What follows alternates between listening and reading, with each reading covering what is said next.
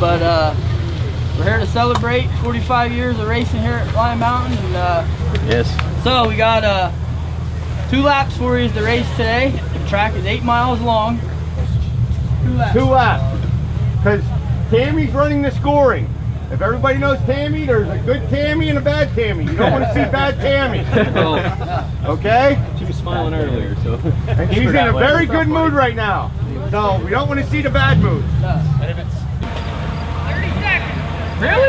Really? 30 seconds. 30 seconds. Go get him!